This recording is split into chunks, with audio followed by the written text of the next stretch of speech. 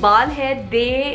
I had to bear the brunt of it बहुत dry frizzy hair fall बहुत ज़्यादा हो रहा था I was desperately looking for good hair gummies came across these uh, you know biotin gummies from the brand saturn so first of all you have biotin biotin जो है वो hair growth और overall जो आपकी hair की strength है उसके लिए बहुत इंपॉर्टेंट होता है इसके बाद you have zinc hair follicles है, उनको स्ट्रेंथ देता है। कि एक महीने कंज्यूम करोगे you are going to see the difference that is my promise to you